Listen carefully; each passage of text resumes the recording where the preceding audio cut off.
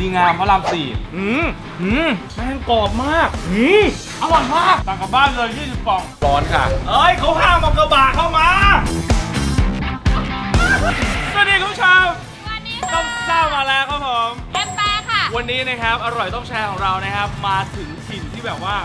วินเทจสุดๆ นั่นคือย่านเจริญกรุงคุณผู้ชม เจริญกรุง 22ใช่เอแล้วอหรือว่าที่เขาเรียกกันแถวนี้ว่าตลาดน้อยนั่นเองค่ะต้องขอบอกก่อนเลยออกตัวเลยว่า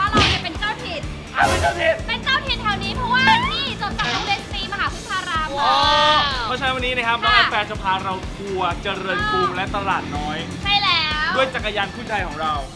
เนี่ยจริงแบบวินเทจสไตล์ฮิปสเตอร์อ๋อ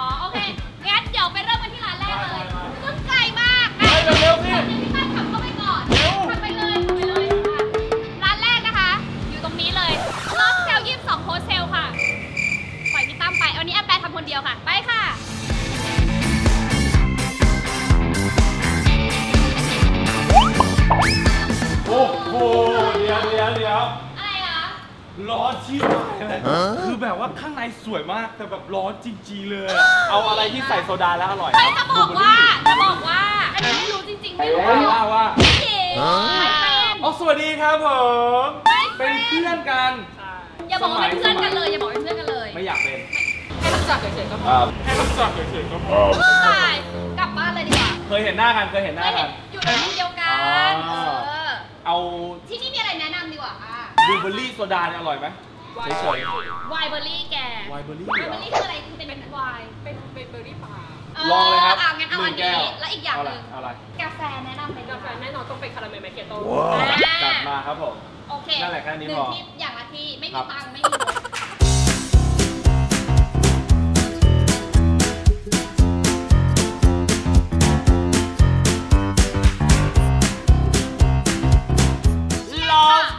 22 ค่ะชนค่ะเฮ้ยดีงามพระรามสี่มันหอมอะเฮ้ยอันนี้ก็ดีไวน์เบอร์รี่มันคืออะไรอะไวน์เบอร์รี่เนี่ยมันคือเออเบอร์รี่ป่าเนี่ยเนี่ยเนี่ยเนี่ยผลไม้เป็นลูกๆ ซึ่งปกติไม่มีนะ อันนี้เขาออกรายการก็เลยเอามาใส่ในอะไรเหรอเปรี้ยวรัดให้พูดคำดีออกรายการได้เหรอเปรี้ยวฮี้ๆเลยครับผมจะบอกว่าปกติเป็นคนไม่กินกาแฟเลย แต่ว่าอันเนี้ยโอเค เพราะว่าคือเพราะว่าเป็นไม่ร้านขมเพื่อนจนเป็นร้านเพื่อนต้องกิน ไม่ได้ชมไม่ได้เชียร์ไม่มี คือปกติคืออันเนี้ยไม่ขมเลยแล้วก็อ่ามัมันมีกลิ่นหอมๆของคาราเมลแล้วก็กาแฟด้วยเอางี้นะคุณผู้ชม เออใครที่มากินแล้วบอกว่าไอ้ไวน์เบอร์รี่เนี่ยไม่อร่อย มากระทืบเลย มากระทืบเลยไม่หอมมากแล้วแบบต้องหน้าเครียดขนาดนี้ไหมครับ ดีดีหมร้อนๆนี่คือดื่มอันนี้เข้าไปดีเลย เออมันเปรี้ยวๆซ่าใช่ สรุป 2 เมนูครับผม caramel macchiato และ wild berry ครับผม soda แช่เราไปต่อเดี๋ยวคุณผู้ชม วันนี้เราจะไปทัวร์เจริญกรุงกันครับนี่ Take a Bao นี่คือซาลาเปาเจ้าเด็ดย่านเจริญกรุงเอาไปโทเอ้ยขอโทษโทษนี่ครับเขาบอกว่านอกจาก แล้วเนี่ยนะคะยังมีเป็นแบบวอฟเฟิลใช่ซึ่งวอฟเฟิลเนี่ยก็ไม่ใช่วอฟเฟิลธรรมดา แต่ว่าเป็นซาลาเปาในรูปแบบของวอฟเฟิลนั่นเอง ปกติเราจะกินซาลาเปาแบบนุ่มๆใช่ป่ะใช่แต่นี่เป็นกรอบกรอบนอกอืมนุ่มในหอมเครื่องหมูสับหมูแดงบาร์บีคิวนี่คือ barbecue pork นะครับผมมีไส้ครีมมีเผือกมีงาดำมีช็อกโกแลตใช่ส่วนวอฟเฟิลเองก็จะมีครีมเผือกงาดำแล้วก็ช็อกโกแลตลองอะไรซึ่งก่อนวันนี้เราจะลองกันเราลองแบบก็คืซาลาเปากับวอฟเฟิลไหมได้เลยลองโคสองอย่างเลยครับผม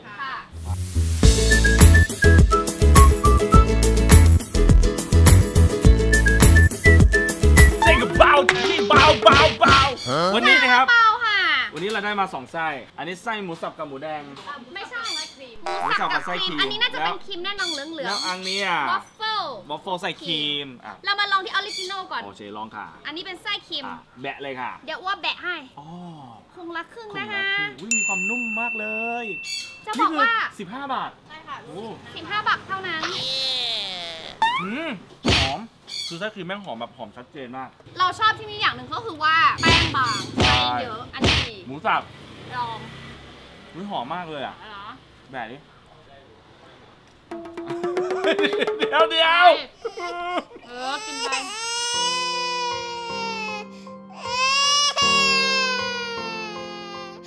มีผักชีให้กูเส้นหนึ่ง เอามาเนี่ยเฮ้ยอืมมันเหมือนมีแบบต้นหอมผักชีอยู่ในนั้น ใช่ปื้มปื้มปื้ม วอฟเฟิลนี่เขาก็บอกอยู่เมื่อกี้ป้ายเขาก็ติด I'm hot อันนี้คือเจ้าของร้านบอกว่ากรอบนอกนุ่มในไส้ครีมเออว่ะ มันคือซาลาเปาแบบเดียวกันเลย แต่พอไปทำเป็นวอฟเฟิลปุ๊บเนี่ยรสชาติความหอมเปลี่ยนเลยมันมีความเกรียม ความหอมแบบเนยๆด้วย ถูกต้องเนยๆเปล่ามี มีดีเนยดีวัตถุดีดิบอย่างดีด้วยค่ะใช่ คุณผู้ชมสำหรับร้านเทคอัพ Take a เบา Bow นะครับผม แชร์ครับผมวิธีการเดินทางง่ายมากนะคะ จากเจริญกรุง 22 เข้ามานะคะ อยู่ขวามือประมาณ 50 เมตรเท่านั้นเองค่ะ ถึงเลย ถึงเลย มีร่มด้วย ไปค่ะ next station ตุ่มใหญ่แล้วก็เดินชนใกล้กันมากนะคะ กับร้านเทคเบานั่นก็คือร้านเจ๊ปุ๊กะหรี่ปั๊บค่ะ โอ้ สวัสดีครับผม สวัสดีค่ะ เข้ามาข้างในค่ะ ได้ ครับผมกะหรี่ปั๊บร้านนี้มีไส้อะไรบ้างคะมีนี่ทั้งหมด6ไส้ค่ะค่ะยอดไก่ทั้งหมดมีไก่ถั่วหวานมะพร้าวแล้วก็ถั่วเค็มไก่มะพร้าวถั่วไม่ใช่เค็มไก่ไข่ผ้าไหมไข่หนึ่งใบสองบาทห้าสิบห้าสิบสองบาทหนึ่งใบขายผ้าไหมอะขายกันไก่เอ๊ะเดี๋ยวนะฮะเดี๋ยวเดี๋ยวเดี๋ยวเดี๋ยวกล้องจะวายให้ดูอีกทีนึงนะครับผมเมื่อสักครู่นี้นะฮะที่เดิมอะกันไก่ขายผ้าไหมขายหนึ่งใบสองบาทห้าสิบ นี่ถ้าเป็นเรื่องของความกดดันในการทำงานหนักเกินไปคุณผู้ชมอ่าลงไปหรือยังลงไปแล้วยังเป็นลงไปยังอยู่ยังอยู่ยังอยู่อ่าสวัสดีครับผมอะรัศมีเปล่งประกายน่าจะเป็น CEO แน่นอนนะครับแน่นอนของร้านนี้เชิญค่ะเชิญของเรานั่นเองค่ะอ่าผมขอลองชิมเลยได้ไหมครับผมได้ค่ะว้าวกะหรี่กะหรี่ปั๊บเดี๋ยวอะไรเรียกให้ถูกเรียกให้ชัดกะหรี่ปั๊บไง อืมไส้อะไรที่พี่ตั้มกำลังกิน ไส้ไก่คือขายดีที่สุดละอ่า แม่งกรอบมากอืม อืมอืมอุ้ย หอม หอมอะไร หอมไก่ของไส้ไก่ อืมเฮ้ยหอม ดีงามกรอบคือจะบอกว่าปกติใช่ไหมเรากินกะหรี่ปั๊บบางทีมันชุ่มน้ำมันมากเออแต่ที่นี่ไม่ค่อยมันเท่าไหร่ใช่แล้วครับผมที่นี่แบบแห้งเลยทำคุณไมผู้ชมถึงดู มันไม่ค่อยอุมน้ำมันคะเจ๊ เราเปลี่ยนน้ำมันทุกวันนะคะว้าววัตถุดิบอะไรทุกอย่างเราใหม่ทุกทุกวันเลยอะ อืมค่ะ แล้วสำคัญที่สุดก็คือเรื่องน้ำมันเนี่ยอ่า สำหรับร้านกะหรี่ปั๊บเจ๊ปูของเรา แซ่เจ๊ปูแชร์ด้วยค่ะอะพร้อมกันพวกเราพร้อมกันหนึ่งสองสาม แซ่มา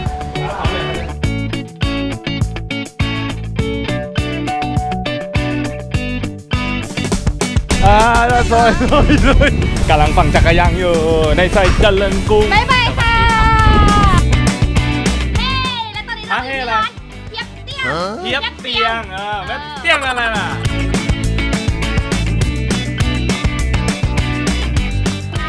สวัสดีครับ นี่คือลูกค้านะครับ คนแถวนี้เนี่ยบอกเลยว่าต้องต้องเผื่อหน้าร้านให้ให้กับร้านเนี้ยแปลว่าต่อแถวยาวไปนู่นเลย นี่คือขนมที่เขาเรียกว่า จูชังเปียะคือจริงๆเนี่ยขนมเปี๊ยะเขาบอกว่ามันก็มีตลอดปีอ่านั่นั่นแหละแต่ว่าสำหรับจูชังเปี๊ยะเนี่ยจะมีปีละแค่รเทอบศกาลเชงเม้งเท่านั้นใช่ข้างในเนี่ยมันจะเป็นหมูสับแล้วก็ผสมกับพริกไทยนะคะจริงอร่อยๆจะบอกว่านอกจากเทศกาลเชงเม้งเขาก็ยังมีช่วงเทศกาลกินเจก็จะเป็นอืมขนมเปี๊ยะประเภทนี้นะคะอืมซึ่งก็คือข้างในเนี่ยจะใส่ไส้ถั่วเหลือง ไม่มีเนื้อสัตว์สามารถกินช่วงใช่กินเจได้เฮ้ยอร่อยเดี๋ยวอะเราไปชิมข้างในดีกว่าพี่ไม่เป็นเรื่องคืออะไรว่าเขาออกจากเตามาแล้วก็มาให้เรากินเลยร้อนๆเลย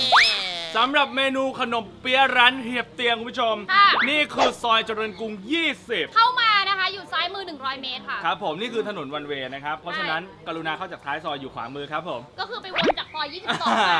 เข้ามาซอย20คือบอกว่าเนื้อชิมหลายเมนูมาก ใช่แต่ทุกเมนูครับผมค่ะไปมาได้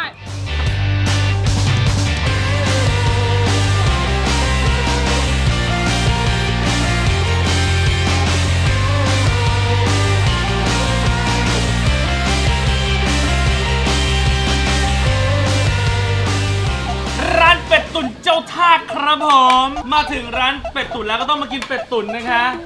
เดี๋ยวก่อนแต่วันนี้เนี่ยนะครับ ค่ะ อีกเมนูเด็ดหนึ่งของเขาก็คือหมี่กระเฉดนั่นเองนะครับว้าวซึ่งใครไปใครมาก็ต้องกินเออวันนี้นะฮะเรามีแฟนรายการจากต่างประเทศด้วยนะครับผม อ่าต้องเชิญหนึ่งนี่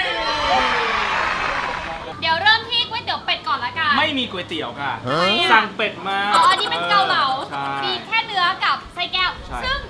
เจ้าของร้านบอกว่าเออไส้แก้วของที่นี่เนี่ยเด็ดมาก เด็ดมากอืมไม่มีความเหนียวเลยอะ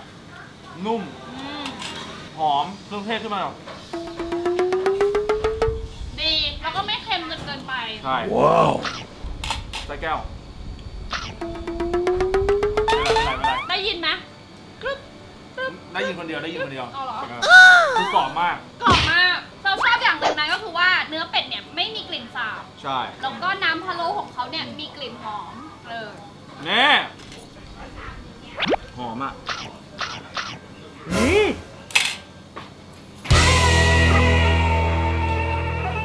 อืมต่างกับบ้านเลย 20กล่องต่างกับบ้านเลย 20กล่อง คือแม่งโคตรแท้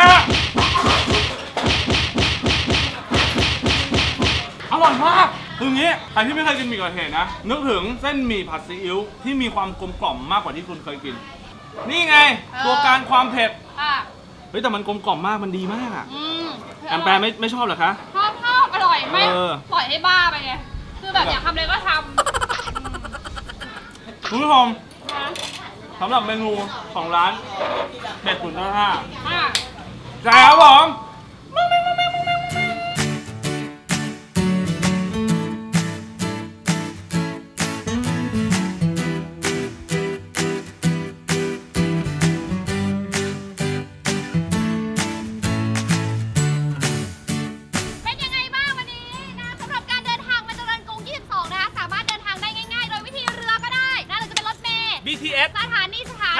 ตัดสินหรือเขี่มอไซค์มา หรือปั่นจักรยานก็ได้ ขับรถมาก็ได้ สั้นๆกระชับคุณผู้ชมตอนนี้ค่ะ สี่พยานะครับผมแล้วก็เขาเรียกอะไรนะ เจริญกรุง